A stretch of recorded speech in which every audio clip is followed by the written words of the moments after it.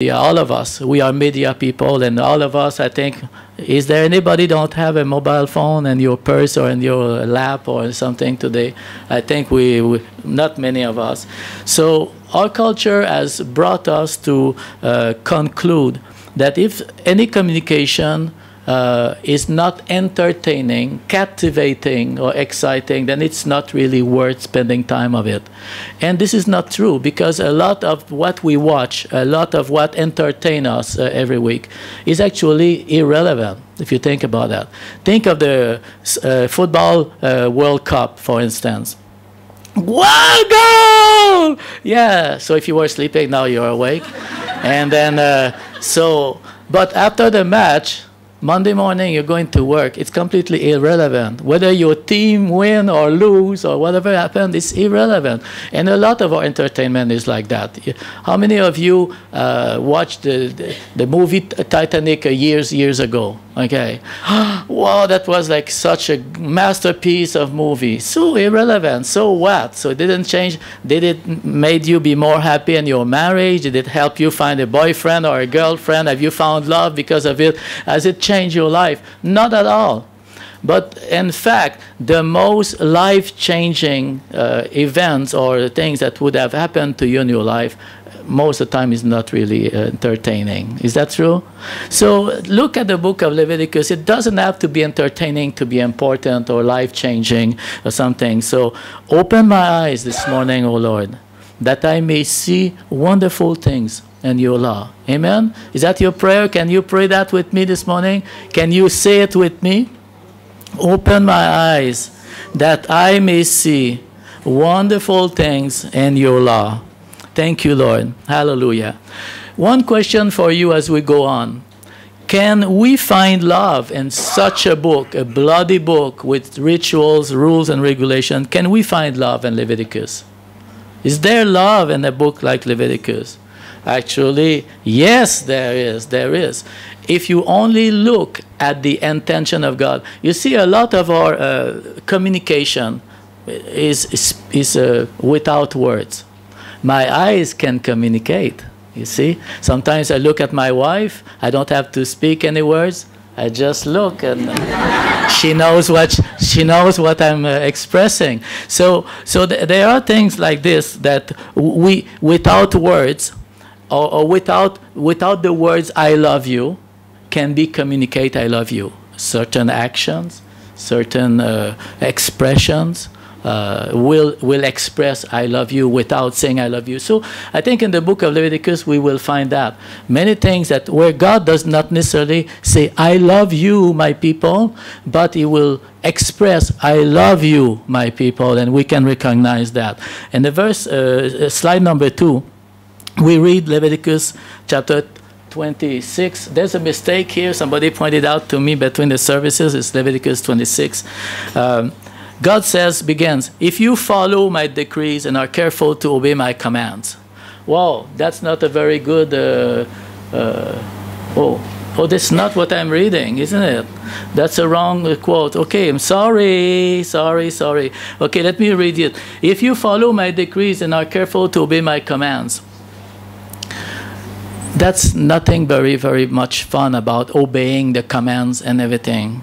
Yeah, click, the, click the next one then. I think we will. Okay, this one is right. This one is not right. But from here it is. So God says, if you follow my decrees and careful to obey my commands, something will happen to you.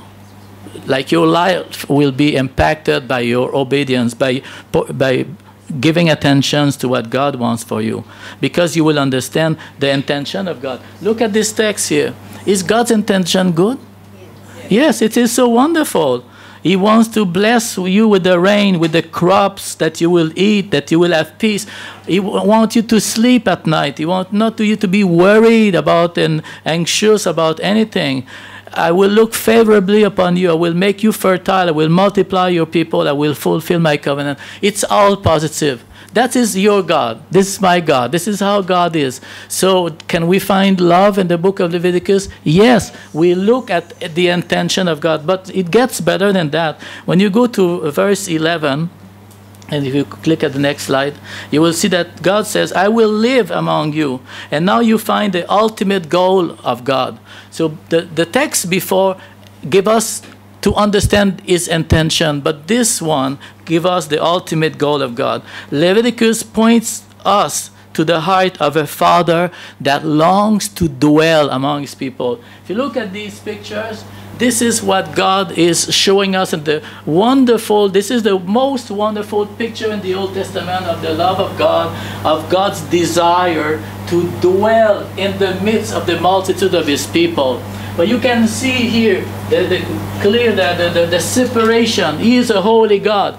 He wants to be in the midst, but there is certain way to approach him through the sacrifice, through sanctifications, uh, and, and, and the priesthood that are there between God and man to, to bring us to God. But the intention of God is so clear.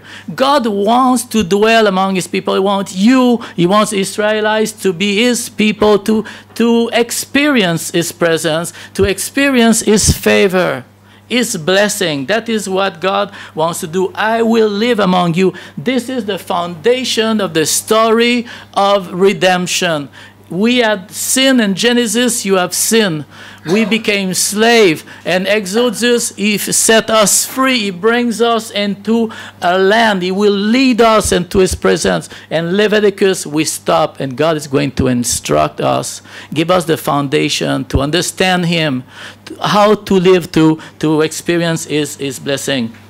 You know, for those of you who are married this morning in this room, the room here, your children don't love your rules. They don't love your rules. They don't appreciate it. Go to bed.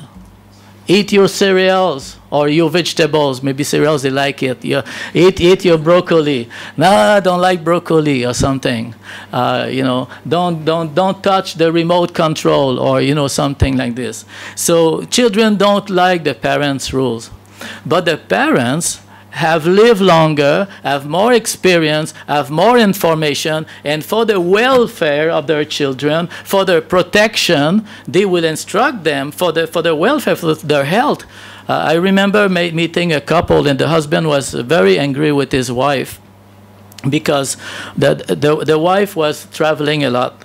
And uh, when she would come home, she would spoil the child uh, so the child could, uh, you know, uh, sleep anytime at night. And the husband was very angry with his wife.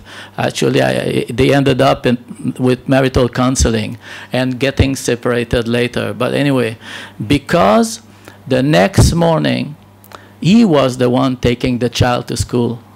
And he was the one to wake her up in tears and screaming that she didn't want to, to wake up and get off of bed. He was the one that had to drag her to take the bus. So one day he told his, his wife, life is better when you are not there. Okay, so, so that tells us about, about rules and regulation. You can spoil, you can leave a child free, but you mess up the life of that child. What kind of schooling? And she will be sleeping instead of learning, and she will be tired. And, and the rules is go to bed early so that you wake up early so that you can concentrate on the next day. So rules are important, and our Heavenly Father established rules and boundaries for us because He is a good Father because he knows what is coming ahead of us. He's the eternal God, and he has a, a pathway. We have read that he, I will live among you. I will not despise you. I will walk among you. I will be your God. You will be my people. Uh, this is what I want. And the, the, the the highlight of that you find it this message you find it throughout the old testament. This is the foundation but then it will be repeated by the prophets. Then you will come to the new testament it will be repeated. Then you come to the very last book almost the last scene before eternity begins and you find in revelation chapter 21 verse 3 a loud voice from the throne that says, See, the tent of God is among humans. He will make his home with them. They will be his people. God himself will be with them, and he will be their God. This is the desire of our loving God. And God will do everything necessary to bring us there. God is paying the price. Okay? If you think about the context of Leviticus, you will see the sacrifices of Leviticus, the bloody sacrifice, the animal sacrifice, point to the mercy of God. He's removing our guilt. He's dealing with our sinfulness. He is making us uh, accepted to come near to Him. The laws of the Leviticus establish a protection. It establish how we can be prosper, how we can have a welfare.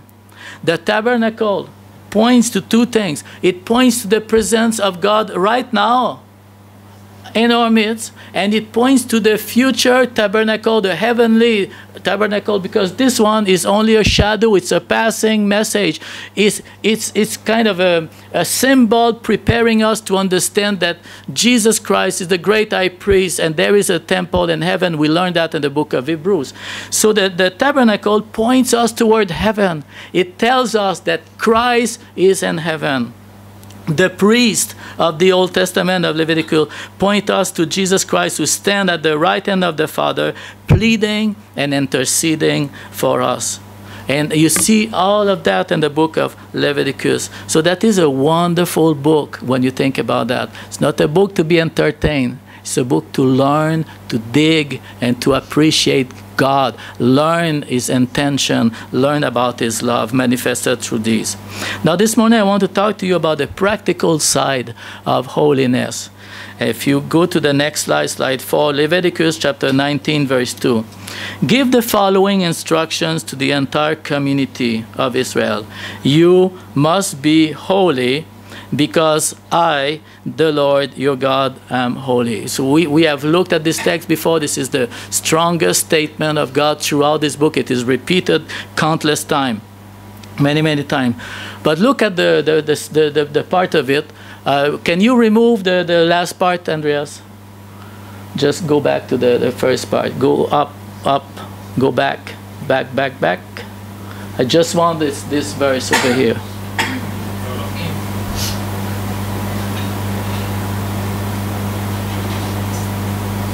Why is it going like this?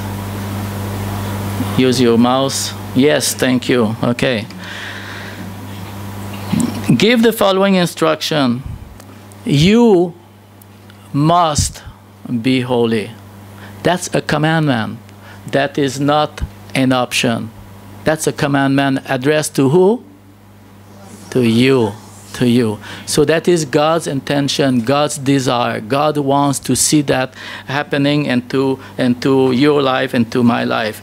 And then you you, you think, okay, holy, holy, what what what is that? Uh, how, how do I attain that? And then we have all sorts of concepts that we, we talked about it, but this morning we will see the practical side of holiness. This is a gem that we discover in this, in this chapter, chapter 19. I, the Lord your God, am holy. If holiness is God's nature, and you and I are commanded to be holy, then we must understand what it means and, and how to, to be. The chapter concludes in saying that I am the Lord your God who brought you out of the land of Egypt, which also already explains some of it. God is a God of deliverance. God is a savior. God is a liberator. He took us from slavery and He brought us here and He is teaching us how to live with Him so that He will be living uh, with us always. So, this is part of the nature of God to, to be like this. Now, we are going to understand a little bit more what the practical side of, of uh, this holiness because you must be holy. It means you must reflect that holiness. You must live in a way that holiness is being expressed and you, God, they can see the holiness of God into your life. And this is a set of rules that God is going to give to, to give to us this morning that tells us in God's eyes what it is to be holy. Uh, you can click now, Andreas, just one time. Yes, okay. Look at this list here. Because of God's holiness, that you should reserve food for the poor and the foreigners. That means when you you, uh, you cultivate your field, you the, the the harvesters, if they drop something, they leave it there. You don't do all the corners. You don't clean your fields. You leave it for the poor people and for the foreigners. Not steal, not deceive, cheat our neighbor, not to oppress or defraud or rob him not insult, make fun, or curse the deaf, or cause the blind to fall or stumble, not to show partiality in legal matters, favoring the poor or the rich, or accepting bribes, or, you know, uh, not spread slanderous gossip among your people, not nurse hatred in your heart for your brother, not seek revenge or bear a grudge. This is so, so practical. And the list continue a little bit here, verse 33, you will see uh, others, do not mistreat foreigners, treat them like the native people, like uh, fellow Israelites, love them as you love yourself. Do not cheat anyone by using false measure, use honest scales. I am the Lord your God, and I brought you out of, of Egypt. So that's the context. God says, I want you to be holy, and then he starts to give us these rules, these simple, practical, very practical. I want to go back to verse 16. I have a little bit more of context here, and I will read it for you 16 to 18. Do not spread slanderous gossip among your people. Do not stand idly. Do not stand idly by when your neighbor's life is threatened. I am the Lord. Do not nurse hatred in your heart for any of your relative. Confront people directly so you will not be held guilty for the sin. Do not seek revenge or bear a grudge against a fellow Israelites, but love your neighbor as yourself. I am the Lord. I want to, to uh, stop a bit on, on these verses here because there's a connection here between slander and your neighbor's life being threatened. You know, because when you slander someone, you are endangering someone's life. Is that true? You are making that reputation of that person like something. People will either reject, maybe he will lose his job if it is like in a job uh, uh, environment or something, or he will lose other friends or, or money or a business or trust of somebody's reputation in society. So when there is slanderous gossip, you cause the life of someone else to be endangered or to be messed up or to be destroyed or some some sorts. So if it end up to be a court case or if it end up to be uh, the, something that the, the life of that person will be so messed up, says don't stand idly by when your neighbor's life is threatened. In other words, get up and go fix that.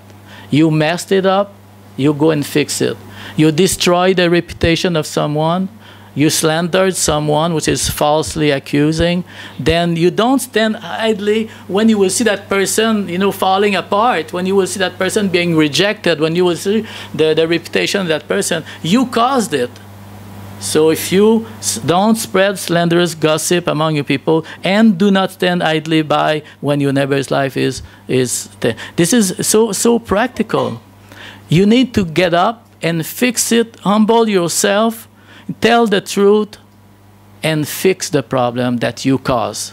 That is what God says. And that is applicable at home, that's applicable at work, it's applicable in the in the church, in the church life, always.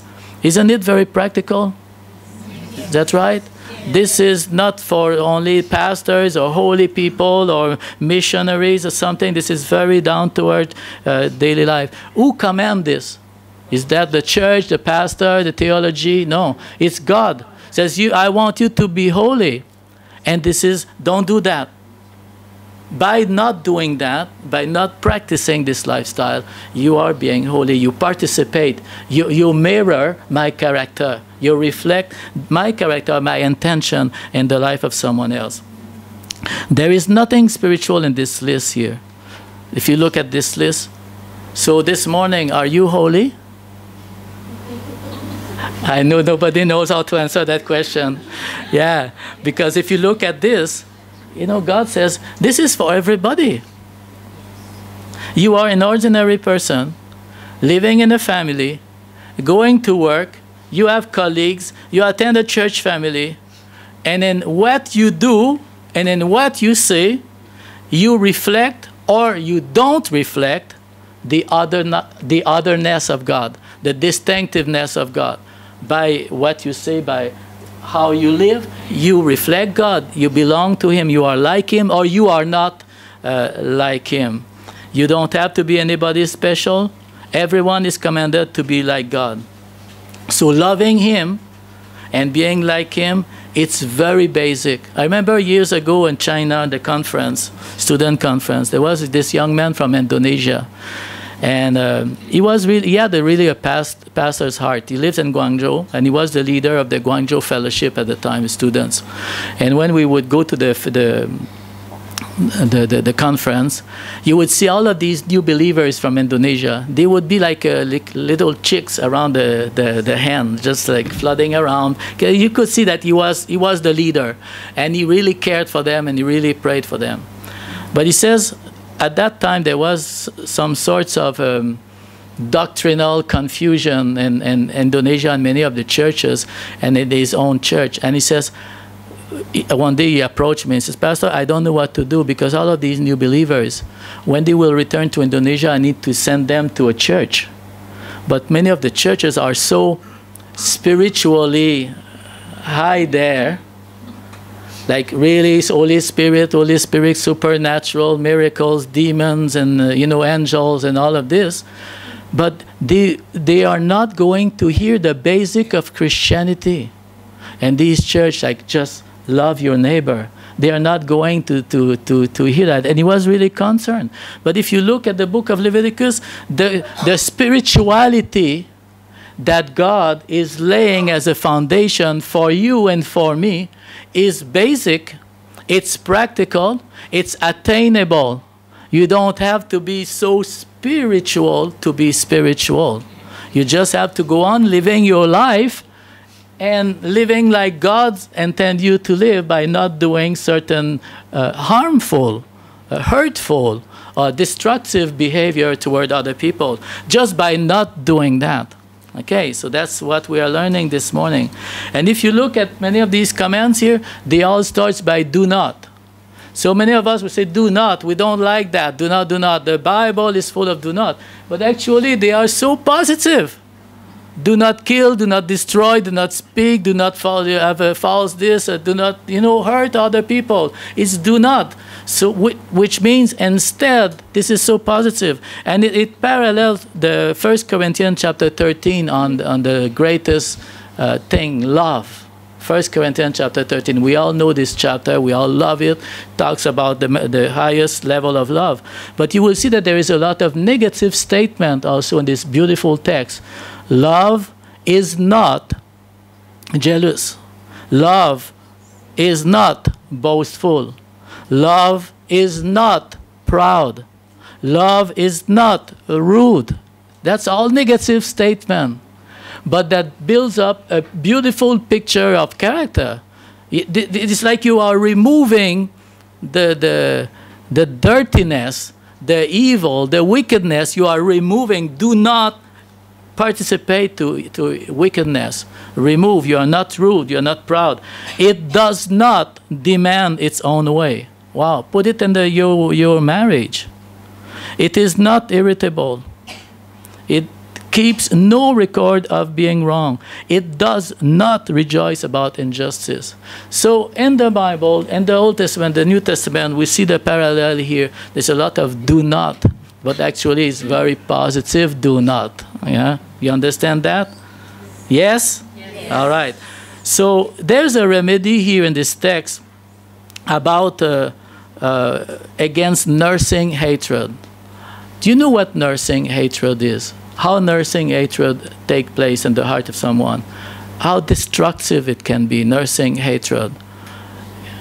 And there's, there's a remedy to that here. Says, do not nurse, verse 17, hatred in your heart for any of your relatives. Confront people directly so you will not be held guilty for the sin. What happened when you are frustrated by a certain event in your life. Think about marriage. On that wonderful day on the red carpet, You see, I love you. I promise to cherish you. I promise to honor you. And the good times and then the bad times. But then the bad times is there now. And, and we get a frustration. We get, you know, something comes out of our mouth that we should not have said. We get hurt. Money is poorly spent um, you know, a lot of conflicts, a lot of confusion in the house. And then gradually, there's a frustrations. And here it says, confront people directly so you will not be held guilty for the sin. So confronting is important in that sense. But the truth is that for many people and many Christians, we do not know how. How and when, for what reason, what you should act, the, uh, keep the balance between uh, things that is not important enough that you can let it pass by certain things that you have to forgive and just go on with your life but certain thing needs to be handled. And if it is not handled it will stay in the heart.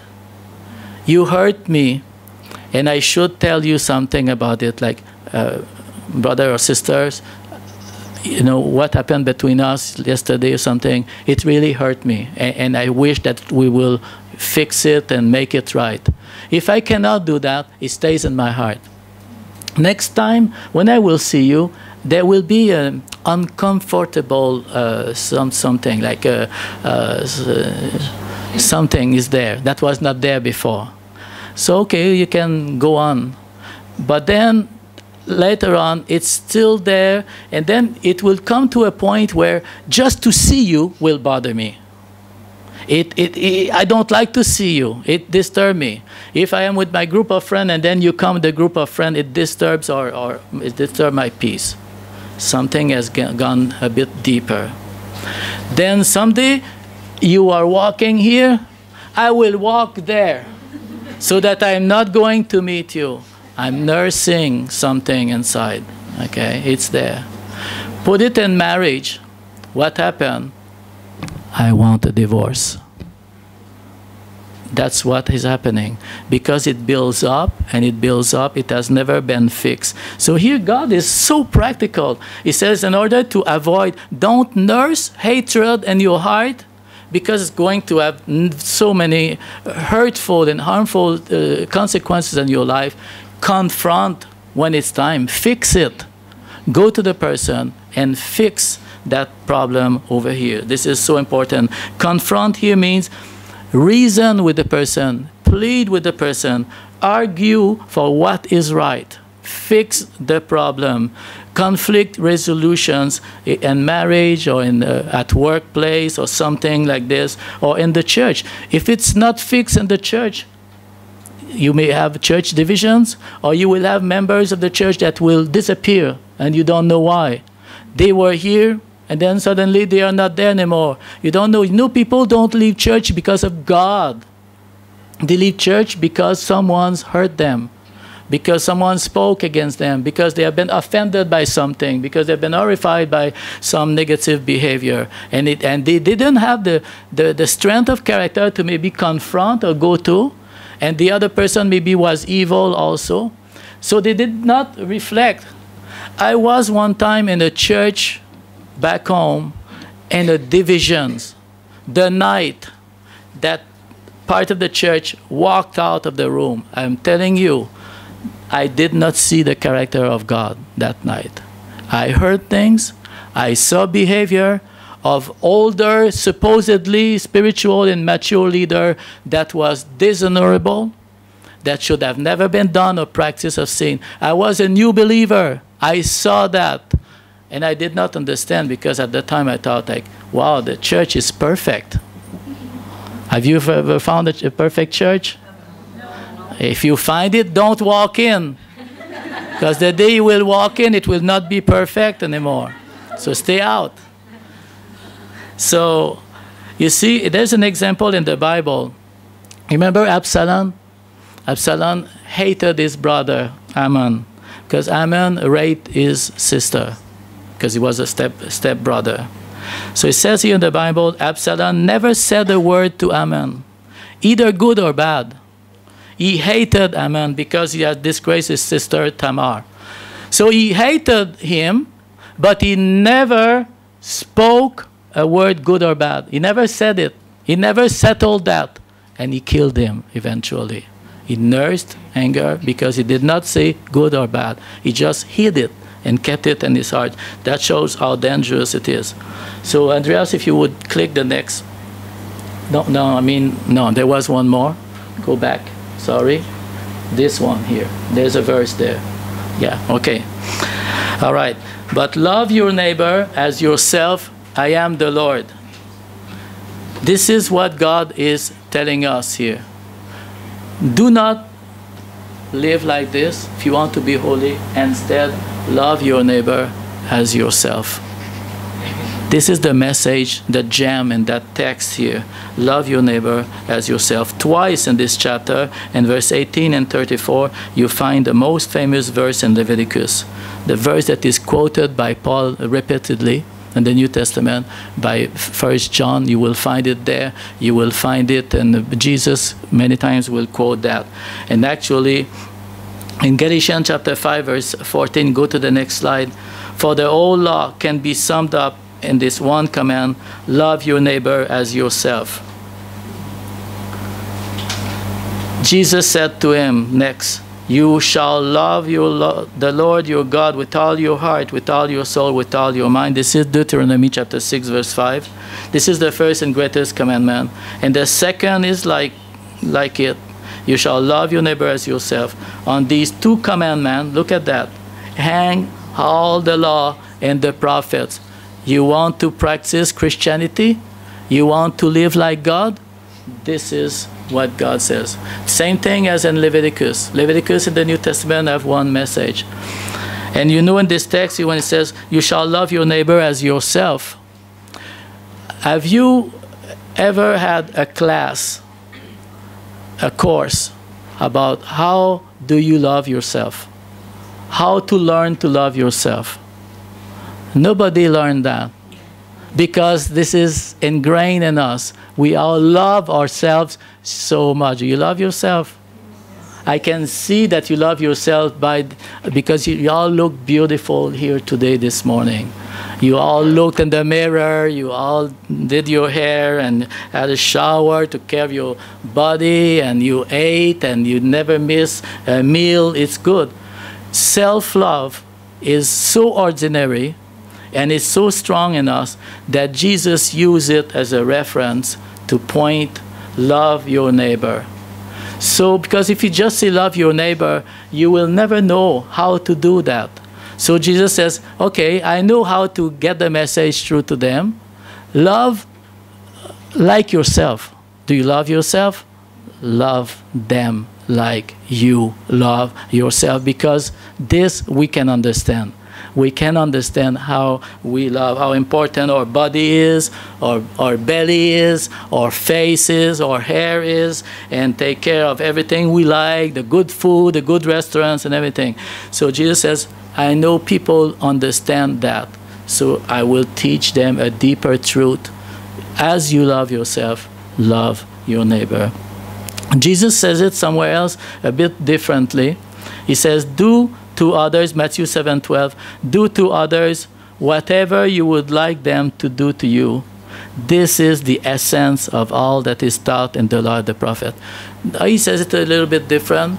Do to others or treat others in the same way that you would like to be treated. Do to them what you like them to do to you. Love is invisible. You see, do you love God? Okay, how do I know you love God? How do you know that I love God? Because it is an invisible, internal passion. You may have that for God. I'm passionate about God. I love Jesus. Oh, Jesus, I love you so much. But Jesus says, You want to mirror my love. This is what you need to do. Love your neighbor as yourself. This is a very so it's so basic. This is the essence of Christianity. This is the essence of being like God. You see, in Roman it says that God, those who cho we chose, He has called them to become like the image of His Son. So then look at Jesus. He's the perfect example. When, when you look for example in the New Testament, you will find many examples of love and how God is, is, is gracious and merciful. And actually, Jesus says, be the way that He puts it to us, be perfect like your heavenly Father is perfect. That is repeated exactly the same thing that we read over here. First John says it like this My children, our love should not be just words and talk it must be true love, which shows itself in, in actions. Says our actions will show that we belong to the truth. When, when we manifest that, it shows that our, our love with God is sincere. It's true. It's not only I love you and then yeah, just go away. Uh, the next verse says, If we love each other, God lives in us, and His love is brought to full expression. We can see love, we can understand love with, with actions. James, James says, that he calls it the royal law. One law rules over all other laws. The royal law is found in the scriptures love your neighbor in the same way as you love yourself. If you obey this law, you are doing it right. And if you look at all of these texts in the New Testament, you will find that there is a, a context in which uh, either James or John is using it. And the text that we read about John, is a context about you have an opportunity to help somebody that is in need. Now, don't only say I love you with your words and just walk away without helping. It's a prac again, it goes back to basic, it goes back to practical love.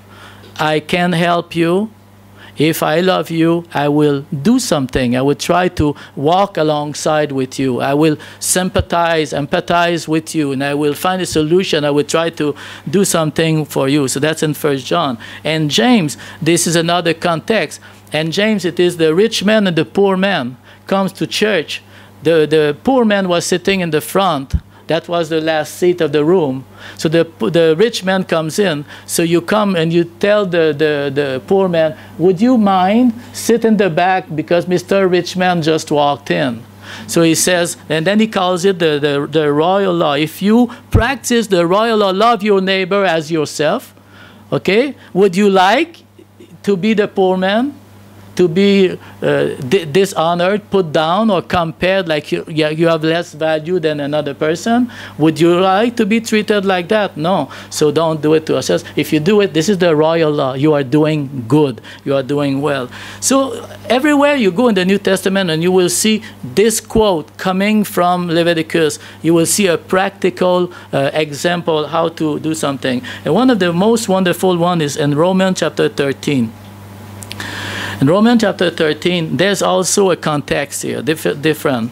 Earlier in the chapter, Paul brings up a few social duties. Uh, submit to the authorities, pay your taxes. Very basic. Submit to your authorities, pay your taxes. And then verse 8 says, Owe nothing to anyone except for your obligation to love one another. If you love your neighbor, you will fulfill the requirements of God's law. And then the, this is the context. Then in verse 9, going onwards, he singles out certain commandments that forbid acts that would harm your neighbor. Don't commit adultery, don't murder, don't steal, don't bear false witness, don't lust. It's kind of a parallel with the, the text in Leviticus. It says, Owe nothing to anyone accept your obligation to love one another. If you love your neighbor, you will fulfill the requirement of the law by not doing. Verse 9, can you click this one? Yes, thank you. Do not commit adultery. Do not murder. Do not steal. Do not bear false witness. Don't do this. Why not doing that if you love? Because it will harm somebody. It will destroy a marriage. It will take the property of someone. It will put down someone else. It will uh, injure the life of someone. These are commandments against adultery and all these. Love does not exploit other people. Love does not take the possession of other people. This is sin that does that. S selfishness does that. Greed does that. Lust does that. Love does not. Love is the cure that God says. So if you and I, the message, one of the message of Leviticus is that if you want to be holy like God, understand what holiness is in a very practical way, don't do these things that would harm other people because of love. Verse 10 Love never does anything that is harmful to its neighbor. Therefore, love is the fulfillment of the law. That's, that's the message of Leviticus. That's the message of the New Testament. Instructions in Leviticus, they are grounded in the reality of who God is.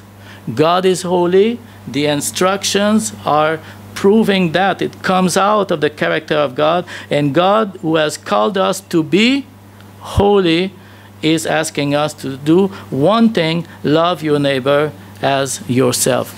You know that Leviticus has uh, inspired many go government or NGOs or some, some groups in the world to, to do something with that. There's an organization that I was reading about. It's called uh, the Jubilee Movement. You know why? Because they, they read in Leviticus chapter 25 about uh, the Jubilee when the debts are uh, remitted, forgiven, and the slaves are set free. And they started an international movement pleading to the governments to surrender the debts to the poor nations of the world, to the third world, to call for the forgiveness of third world debt uh, then, and this movement, it has been inspired by, by this one. If you remember also in the list that we had and uh, the, the, the, the text of Leviticus, it says, do not mistreat the foreigners in your land. He says, treat them as the natives are. Love them as you love yourself.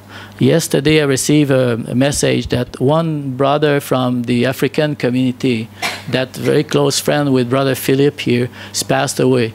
Uh, Saidi, Brother Saidi is from Congo. Brother Saidi uh, had, uh, for many months, treatment for his kidney, dialysis. And he should have had a, a, a, another kidney. He's, he's, he's, about your age, huh? he's about Philip's age. And he has been a, lawyer, he has been a, leader in the African community, the, the French uh, fellowship uh, and Divine Church. I have met him before. He's a faithful man. And uh, because he was asylum seeker, he, his name could not be put on the list for a kidney. So he died, just because he was an asylum seeker.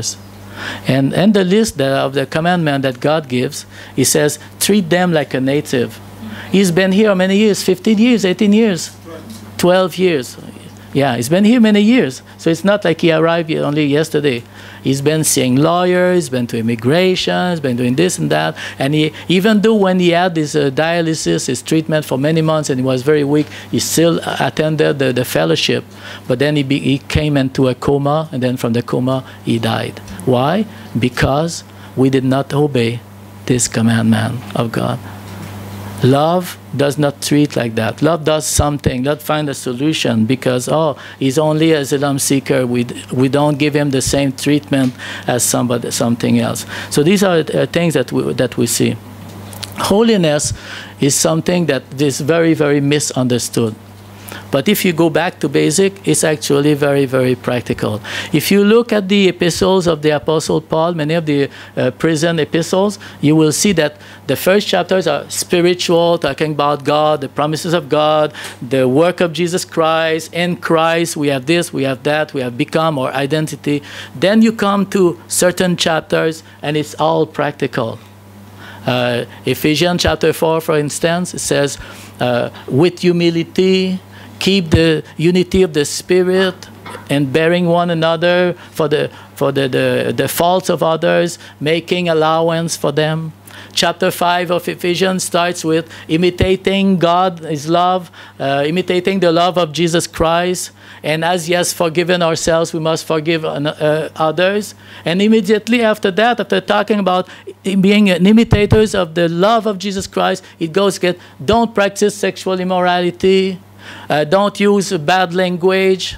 Uh, don't be uh, filled with lust and greed. Same message of Leviticus. Same Christianity. Chapter 6, it starts about the same thing, talks about work, workers, the slave, you know, and everything, working to do your best. Then it moves to family, husband, wife, children. Practical Christianity. That is what is preached and lighthouse here. For years and years, the foundation of Christianity, yes, the Holy Spirit, the, the, the promises of God are yes and amen, the spirituality, but with the two feet on the ground with the two feet on the ground and at home with the children, with, with being generous. One of the things that we, we learn in Lighthouse is generosity. Someone was expressing the joy the feeling of satisfaction for being generous says every time I give, I feel good about it. I, I, I knew the feeling when I uh, answered God's call in my life to go to, to mission field and we have to let go of our home. We just had our home. Our family was young. We just had our first home.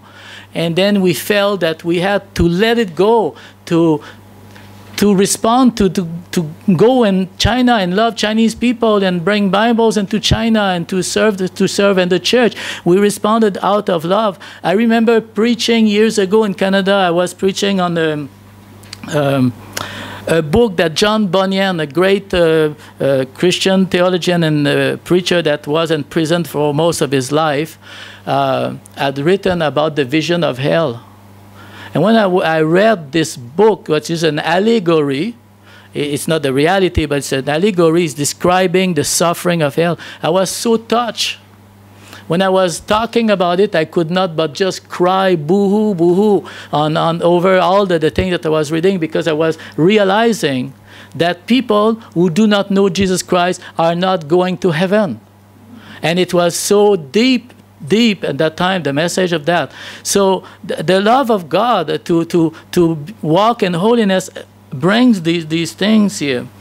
It says in, the first, uh, in Corinthians, the love of Christ constrains us to urge people to be reconciled to God.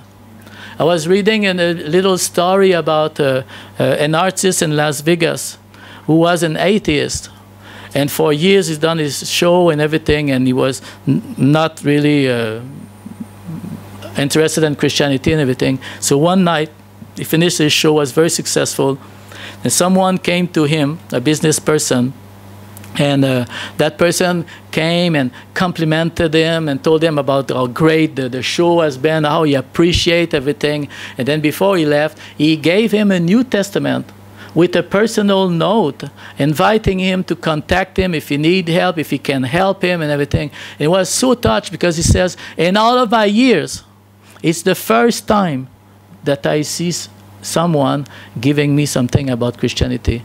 He was an atheist, but no Christian had been to him yet and years and years and years and years. And for the first time, someone was interested in his, in his life. And you know his, what his reasoning is? He says, if heaven and hell are true, and we are withstanding that message to someone, are we walking truly in love? Loving your neighbor. Because if this is true, if this is the greatest reality uh, awaiting us ahead of us, and we are never talking about it, we are never introducing anybody to Jesus Christ, are we really loving our neighbors? That is the reflection of that atheist when you receive the Bible. So for us, New Testament Christian, we know what we have to live by. This is the holiness that God wants us to, to live by. Jesus says, if you are kind only to your friends, how are you different from anyone else? The pagans do that. But you are to be perfect, even as your Father in heaven is perfect.